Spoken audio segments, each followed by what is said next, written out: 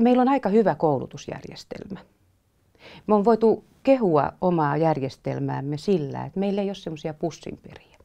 Meillä on mahdollisuus valita monessa vaiheessa. Jos et ole valmis valitsemaan peruskoulun päättyessä, voit jatkaa montaa tietä ja päätyä erilaisiin yhteiskunnan tehtäviin. Meillä on rinnakkaiset korkeakoulujärjestelmät, joiden välillä voi liikkua, rinnakkaiset toisen asteen koulutusjärjestelmät, joiden välillä voi liikkua. Mä sanoisin, kun mä vertaan suomalaista koulutusjärjestelmää muihin maihin, niin mä sanoisin, että tämä joustavuus on se kaikkein tärkein asia. Ja, ja tota, ehkä jos mä ajattelen koulutusjärjestelmän kehittämistä, niin mä toivoisin, että me kehitettäisiin sitä juuri tässä suunnassa, kun sitä on tähänkin asti kehitetty. Ei se valmis ole.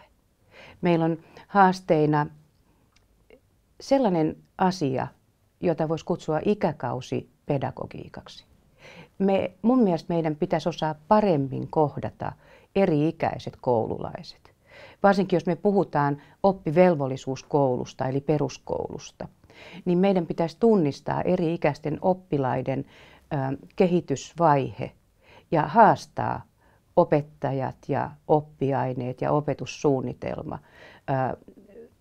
keskustelemaan oppilaiden kanssa. Sehän on ihan itsestään selvää, että eka tokaluokkalaiset oppivat eri tavalla kuin 8-9-luokkalaiset. Ja silloin heitä pitää myös opettaa eri tavoin ja erilaisin metodein. Ja se aikuisen kasvatusvastuu on hieman erilainen. Tämä haastaa koulua ja koulutusjärjestelmää yhä niin kuin paremmin huomioimaan oppilaat.